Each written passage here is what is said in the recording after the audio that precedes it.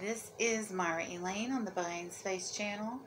I'm continuing uh, reading from the Torah. As you can see, the Hebrew is on this side.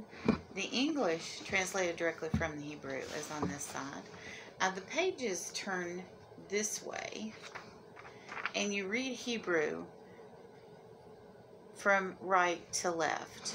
So I don't read Hebrew. I don't know Hebrew. I've learned some Hebrew words. I don't really retain them um, because I'm just not in the age group that retains language that well. And um, but my last reading was in chapter 35, and I ended on uh, verse 14. I'll just resume from there. And Jacob set up a pillar at the place where he had spoken with him, the pillar of stone. He poured a drink offering thereon and poured all thereupon. And Jacob called the name of the place where God had spoken with him Beth El.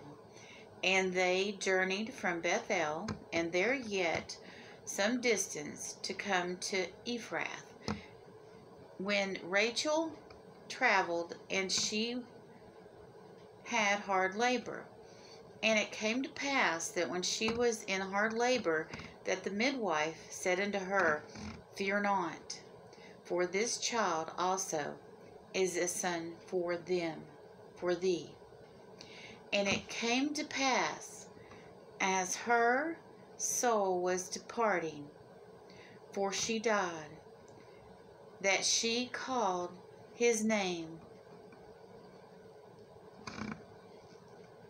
Ben Oni.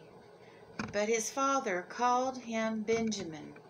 And Rachel died and was buried on the way to Ephrath, which is Beth Lechem. And Jacob set a pillar upon her grave. This is the pillar of Rachel's grave unto this day. And Israel journeyed and pitched his tent beyond Migdal Eder. And it came to pass when Israel dwelt in that land that Reuben, Reuben went and lay with Bilhah, his father's concubine, and Israel heard it. Now the sons of Jacob were twelve. The sons of Leah, Jacob's firstborn, Reuben and Simon and Levi and Judah and Issachar and Zebulun. The sons of Rachel's, Joseph and Benjamin, and the sons of Bilhah, Rachel's handmaiden, Dan and Naphtali, and the sons of Zilpah, Leah's handmaiden, Gad and Asher, these were sons of Jacob that were born to him in Padanaram. And Jacob came to Isaac his father unto Mamre, the city of Arba, which is Hebron, where Abram and Isaac had sojourned. The days of Isaac were 180 years, and Isaac expired and died and was gathered unto his people, and old and full of days. And Esau and Jacob his sons buried him. Wow, I bet that was quite the funeral with Esau and Jacob there together burying their father. And that concludes chapter 35. And we saw in this chapter the death of a lady named Deborah. And I want to point this out because Bethel means house of God. So, in a way, Deborah, who was the handmaiden for Rebecca, she nursed Rebecca,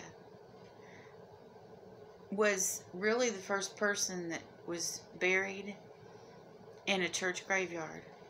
Even though there wasn't a church or synagogue there, there might be that to this day they may have built one later. But um, it was like being buried on holy ground. And to my knowledge, in the Israeli tradition, this is the first time someone was buried on holy ground. And it was the nurse of Rebecca named Deborah. And uh, she made her mark in history. And I don't, uh, I'm not quite sure um, how rabbis look upon this or teach this, or if the place of her grave is known um, beyond the description in the Torah. I would be interested to find that out. So if you're uh, Jewish and listening, please put it in the comments because I'd really, really like to know. Have a wonderful and blessed day, everyone.